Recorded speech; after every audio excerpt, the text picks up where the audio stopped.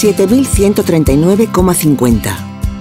Una cifra que deja bien a las claras que todavía en 2012 la desigualdad entre hombres y mujeres es una realidad.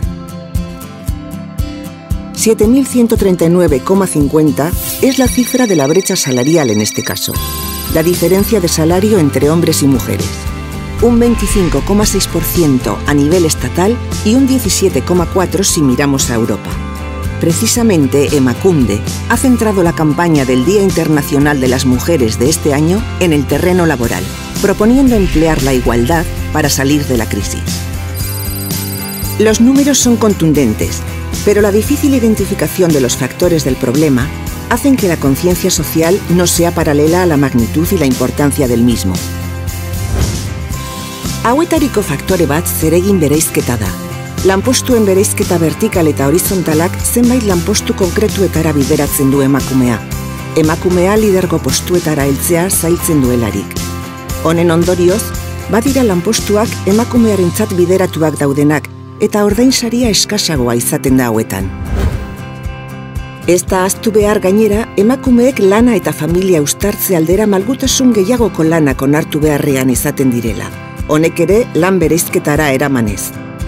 Bada beste lan bat eta portzentai handi batean emakumeen gain uzten dena. Familiaren zainketa eta etxeko lanak. Gizonekin konparatuta, bataz beste bi ordu eta erdi gehiago ematen dituzte emakumeek lan hoietan factor este que incide de manera notable en las condiciones laborales.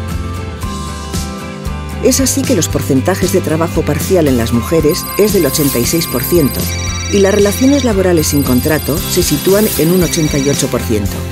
Modu honetan jakina, zaildu egiten da lan merkatuan berdintasuna lortzea gizon eta emakumeen artean. Bestalde, emakume eta gizonen jarduerarik ezari erreparatuz gero, batzuen eta besteen arrazoiak desberdinak dira oso. Gizonei dagokionez, jubilazioa edo aurre jubilazioa da arrazoia nagusiena. Emakumeen berriz etxeko lanen ardura. Todas estas diferencias tienen como consecuencia, entre otras, una mayor incidencia de la pobreza en las mujeres que en los hombres. Así, el 82,9% del total de las personas en riesgo de pobreza en Euskadi, es decir, sin ingresos suficientes para optar a un proyecto de vida autónoma, son mujeres. El porcentaje de riesgo de pobreza es cuatro veces mayor en las mujeres que en los hombres.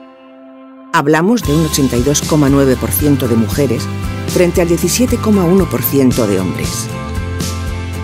Casi el 50% de los hogares en los que vive una mujer sola se encuentran en una situación de riesgo de pobreza o de ausencia de bienestar. Por su parte, en cuanto a los ámbitos de decisión económicos, las empresas y entidades financieras están muy lejos de conseguir el principio de paridad en sus órganos de dirección o gobierno. Valga de ejemplo que la representación de las mujeres en los consejos de administración de las empresas vascas que forman el IBEX 35 no supera el 10%.